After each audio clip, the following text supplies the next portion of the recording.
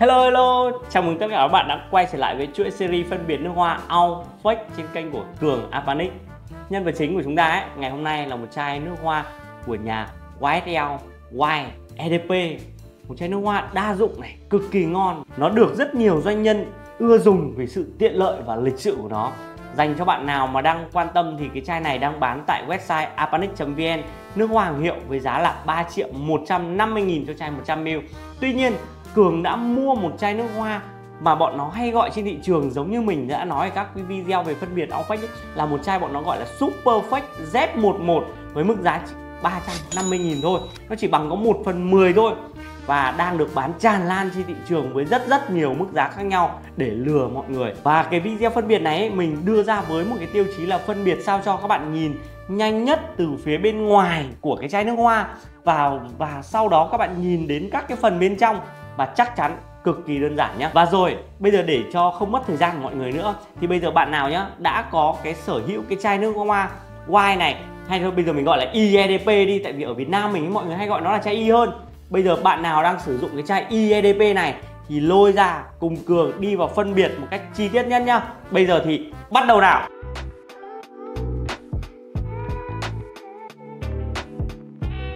Như mọi video trước đây ý, thì mình cũng đều đã nói với mọi người về một cái việc trong cái chuỗi series này của mình là để cho mọi người không bị dối này, không bị loạn và kể cả từ cái phần mình nói và các phần hình ảnh chám. Thì các bạn lưu ý cho mình là cái chai nước hoa au thì mình luôn đặt ở cái phía bên tay phải so với góc nhìn của các bạn. Còn cái chai nước hoa fake ý, thì mình luôn đặt ở phía bên tay trái theo với góc nhìn của các bạn. Các bạn lưu ý nhất là góc nhìn các bạn không phải từ phía mình nhá. À, thêm một cái nữa là mọi người ý, có thể dừng lại video và chụp lại các cái phần mà mình đã nốt ở trên các cả các cái phần chi tiết mình đã nốt rất rõ. Thì các bạn cứ lưu nó lại để nhỡ khi nào các bạn có đi mua thì các bạn cần thì các bạn lôi nó ra để các bạn có thể xem được luôn. Rồi, bây giờ chúng ta bắt đầu đến phần chi tiết. Và cái phần đầu tiên mà mình muốn nói với mọi người Chính là phần siêu của chai nước hoa này. Đầu tiên là các bạn để ý cho mình nhé Là cái phần kết thúc siêu. Thì kết thúc siêu nó là cái gì? Nó chính là cái đường gập Ở đằng sau của cái siêu này này mọi người này. Thì như mình đo ở đây Thì cái đường kết thúc siêu này Cái chiều rộng của nó Nó là 0,9cm Còn khi mà các bạn nhìn sang cái chai fake thì các bạn để ý cho mình một chút thì khi cường đo ấy nó to hơn khá là nhiều 1,6 cm rồi. Mọi người lật giúp mình xuống một chút này để mọi người xem cái phần cái phần dán siêu nhá ở phía đầu của chai này. Chai ao ấy thì cái phần keo dán siêu này này dập hình vuông vào đây. Còn khi các bạn nhìn sang đối với cái chai fake nhá nó làm là một cái dạng hình tròn nhìn khá là rõ rệt. Còn bây giờ nhá để cho mọi người có thể thuận tiện nhìn được thì mình sẽ bóc siêu cả hai chai này ra để mọi người có thể nhìn rõ hơn. Tất nhiên khi mà mọi người không bóc mọi người vẫn có thể nhìn được nhưng mà mình muốn là ở đây là cái video khi mà mình làm để cho mọi người có thể nhìn được kỹ hơn thì lúc mọi người nhìn phân biệt nó sẽ đơn giản hơn.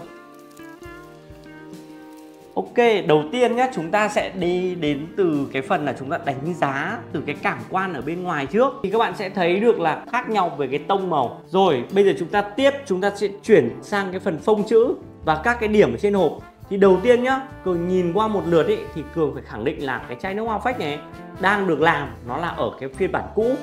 Nhưng mà cường đã tìm hết rồi đây là cái phiên bản mới nhất của bọn phách nó ra vào cái thời điểm này.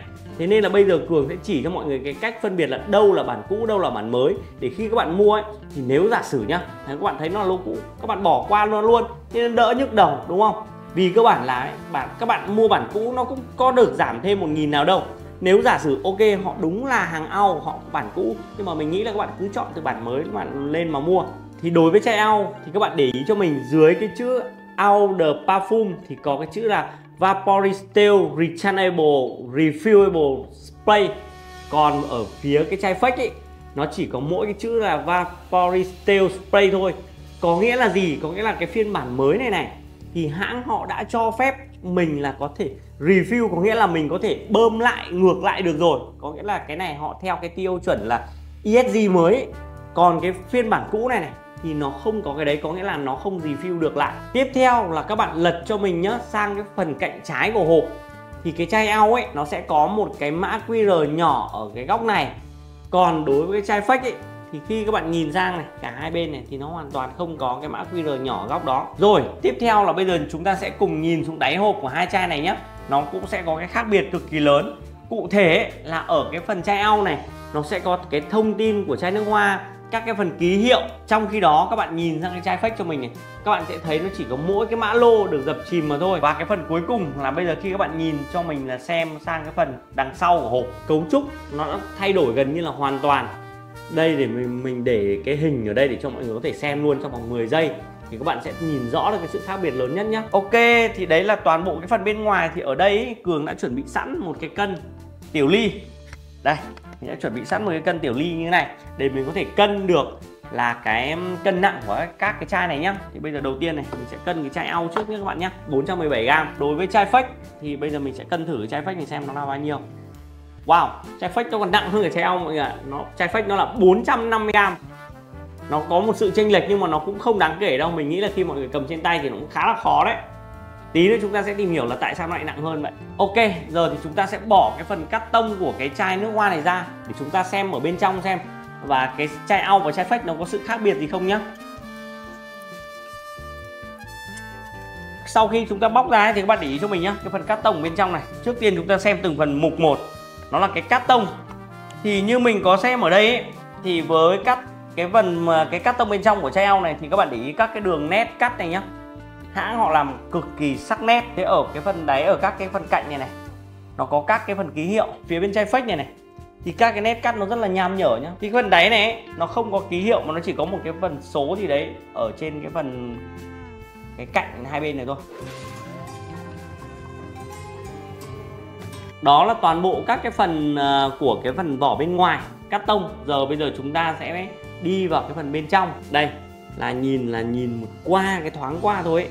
là cái cảm quan là chúng ta đã thấy là cái chai ao, cái phiên bản này là thấp hơn cái chai fake này rồi, đúng không ạ? Mình nghĩ là cái, đây cũng chính là cái lý do mà lúc nay chúng ta nói là việc là tại sao mà cái chai cái chai fake nó lại, cái cân nặng nó còn nặng hơn ấy. Thì tất nhiên khi nó cao hơn, nó to hơn như này thì cái việc nó nặng hơn, mình nghĩ là chuyện khá là bình thường rồi tiếp theo các bạn để ý cho mình nhé cái cảm quan thứ hai là khi mình nhìn vào ấy thì chúng ta nhìn ở cái đáy của cái chai eo này. Cái phần thủy tinh ấy, từ tiếp giáp từ cái phần đáy chai cho đến cái phần cạnh dưới của cái chai này thủy tinh của chai eo ấy sẽ mỏng hơn khá là nhiều. Và cái tiếp nữa là các bạn để ý là cái phần màu của cái chai ấy, thì cái phần màu của hai cái chai ao và fake nó cũng khác nhau khi mà các bạn nhìn side by side này là các bạn sẽ thấy nó khác nhau tương đối rõ. Nhưng mà mình nghĩ là nếu mà các bạn chỉ có một chai thôi thì các bạn, cái này các bạn sẽ khó có thể phân biệt được liên quan đến cái phần màu sắc này. Và cái phần tiếp theo nữa là nó đến cái phần tên ở trên thân chai.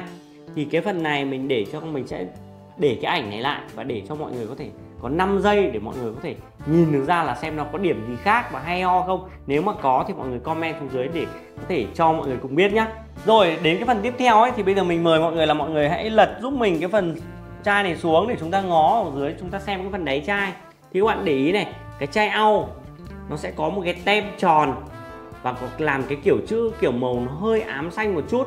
Và cái mã lô của chai ao thì nó là màu trắng còn khi các bạn nhìn sang cái đối với cái chai fake nhá cái tem này này và cả cái chữ và cả cái mã lô ấy nó đều là màu trắng hết. Phần logo này mọi người nhìn cho mình giúp 5 giây xem là nó có sự khác biệt gì không nhá. Mắt cường là cường không thấy rồi đấy nhưng mà à, không biết là các bạn nhìn thì các bạn có soi được ra thêm gì không. Tiếp theo là bây giờ mình sẽ mở cái phần nắp này ra xem này. Ở là để chúng ta nhìn quan sát ở cái phía bên trong của cái nắp chai nhé đây phía bên trong của cái nắp chai này thì như cá nhân mình quan sát ở bên cái phần của cái chai ao ấy được làm màu đen bóng và nó sẽ đồng đều hơn. Còn khi các bạn nhìn sang cái nắp của cái chai fake ấy thì nó được làm cái màu nó hơi ám xanh ở cái phần viền. Rồi giờ chúng ta sẽ bỏ cái phần nắp này sang một bên. Chúng ta lại đi đến cái phần tiếp theo nữa. Là chúng ta đi đến cái phần đầu xịt đầu spray. Đối với cái chai ao ấy thì được làm nó là cái kiểu nó bằng phẳng. Còn khi các bạn nhìn sang cái đầu xịt này cái tâm của cái đầu xịt này của cái chai fake thì các bạn sẽ thấy nó lồi lên rất là rõ luôn. Còn giờ nhé chúng ta sẽ bỏ cái đầu spray này ra để chúng ta nhìn vào cái phần nhụy bên trong nhé đây đầu spray của chai ao đây. Ai à, có một cái đặc điểm của tất cả các xe ao mình thấy là nó nhổ cái đầu đấy cực kỳ khó luôn. Nó rất rất là chặt ý. Đây khi chúng ta nhìn vào phía bên trong của cái đầu spray này thì chúng ta thấy à nó có một cái đặc điểm là đối với chai ao, họ làm không hết cái nhựa, thế nên là nó vẫn còn một cái chút nó, kiểu, nó bóng bóng, loáng loáng. Khi nhìn sang cái chai fake ấy, thì toàn bộ nó bao phủ bằng nhựa, thế nên nó không có một cái vệt bóng lên lên nữa. Còn cái phần nhụy của cái chai nước hoa nhé thì các bạn để ý cho mình này. Cái phần chai ao ấy, là hãng bây giờ họ đã làm sang một cái thiết kế là một cái hình trụ từ trên xuống dưới và làm bằng một cái nhựa. Mình cái cảm giác cái nhựa này, hãng họ làm bằng cái nhựa tái chế thì phải, không nhìn được xuyên qua. Đó còn khi các bạn nhìn sang đối với cái chai phách ấy thì cái chai phách này làm bằng một cái nhựa này nó là cái nhựa trong suốt này. À, và ở giữa của cái chai phách này nó sẽ có một nhìn rõ được cái lò xo ở bên trong. Chúng ta sẽ đến một cái phần ở ngay bên dưới nó chính là cái phần cố định của nhụy. Thì cái chai ao ấy được làm bằng một cái nhựa trong suốt. Nhưng khi các bạn nhìn sang cái chai phách thì các bạn sẽ thấy cái phần cố định nhụy này này, nó làm bằng một cái dạng kiểu kim loại mà nó kiểu bóng bóng và nhìn nó còn hở cái ra đây. Chúng ta sẽ đi sang một phần tiếp nữa là đến cái phần dây dẫn của chai nước hoa. Thì cá nhân như mình đánh giá nhá, dây dẫn của chai au nó sẽ chỉ nhỏ hơn một chút thôi. Chai phách thì nó to hơn, nhưng mà mình cá nhân mình đánh giá là cái cái dây dẫn của chai phách này nó làm gần giống rồi đấy, nó chỉ cần nhỏ hơn một chút nữa thôi là mình nghĩ là hai cái dây dẫn này gần như các bạn không có cái cách gì các bạn phân biệt được nó cả. Cũng ở trong cái phần này luôn thì mình có, mọi người có thể soi giúp mình một chút là như nhìn sang cái chai ao này thì nước dùi bên trong nó rất là trong. Còn nhìn sang chai phách này thì nó khá là nhiều cặn. Thực tế là cái việc là một cái chai nước hoa hãng ở trong nó có cặn thì mình, cá nhân mình thấy nó là cái chuyện bình thường thôi nên mình nghĩ cái này nó không phải là cái tiêu chí để mình đánh giá. Ở đây chẳng qua là mình đang mình đang bỏ cái chai này ra thì mình có thể nói luôn cho mọi người. Nước hoa hãng nhá, nước hoa các cái thương hiệu lớn, ở bên trong nó rất nhiều cặn là chuyện bình thường. Thì nhưng mà cái cặn đấy tùy là nó là cái nguyên liệu của nó là cái gì, thì cái cặn nó nó tốt hay không thì nó, cái câu chuyện nó khác nhau thôi.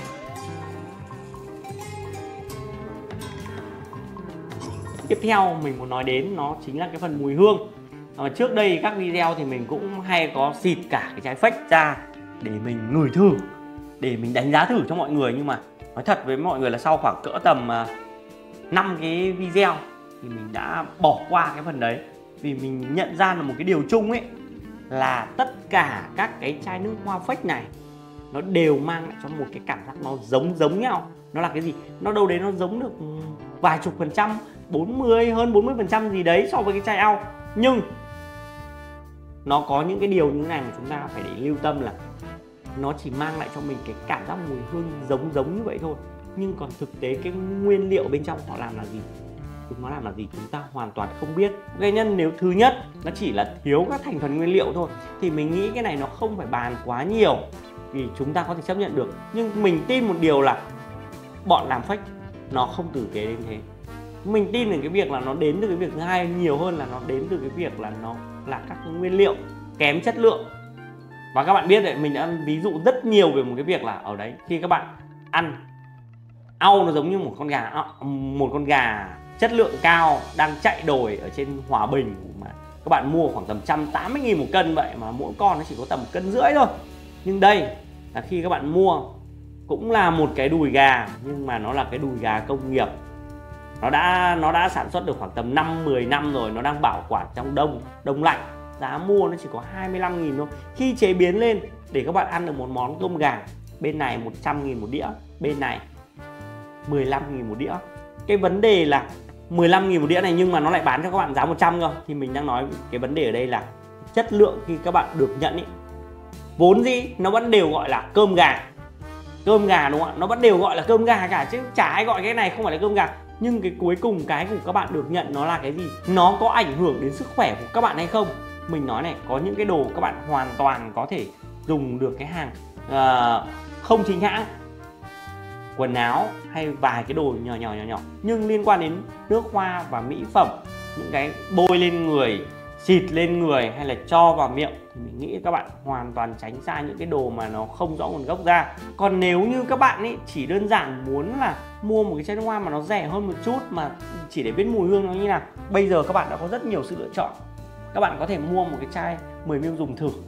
Hoặc nếu vẫn thích cái chai như thế này các bạn hoàn toàn có thể mua một cái gốc của nó.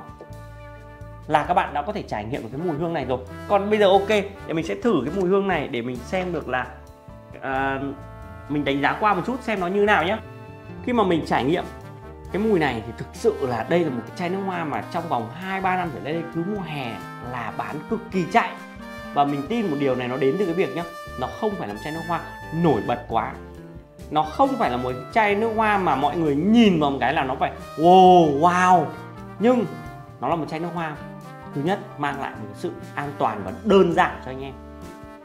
Ở trong cái chai này, khi mình ngửi cái, đầu tiên ấy, mình ngửi được rất rõ cái vị của cái vị táo xanh làm rất là tươi, ngon và nó giống như một cái ly táo mà nó xay rồi mà được đánh đều lên vậy.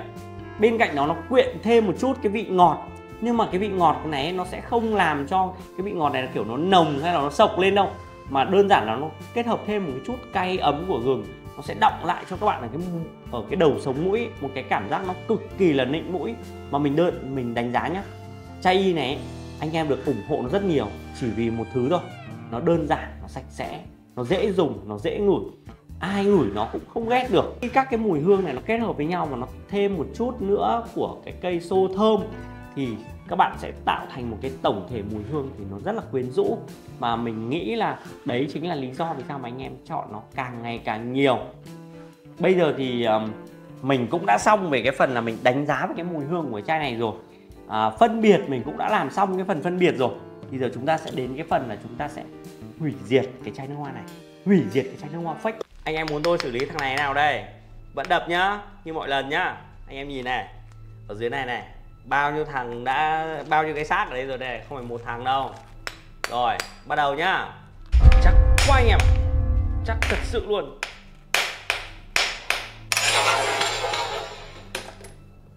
30 giây dành cho quảng cáo. Mình đang có một chương trình dành cho các bạn đã đăng ký kênh Là một mã ưu đãi mang tên là Mất siêu Được giảm giá trực tiếp 15% khi mua hàng tại website apanic.vn Áp dụng cho các sản phẩm đã bóc siêu, test mùi trong quá trình mình làm video phân biệt Outfake mọi người nha. Ok và đó là toàn bộ những gì mà các bạn cần phải biết để có thể phân biệt được cái chai nước hoa IEDP một Outfake một cách nhanh nhất và một cách đơn giản nhất à, nếu các bạn thấy cái video này hay ấy, hay là những gì mà cường chia sẻ nó là hữu ích thì các bạn cho cường xin nhé một like này một đăng ký kênh và các bạn bấm giúp mình vào cái nút chuông nhỏ nhỏ ở bên cạnh để các bạn không bỏ lỡ bất kỳ cái video nào của cường ra ở trong tương lai. Còn bây giờ thì xin chào mọi người và hẹn gặp lại nhá!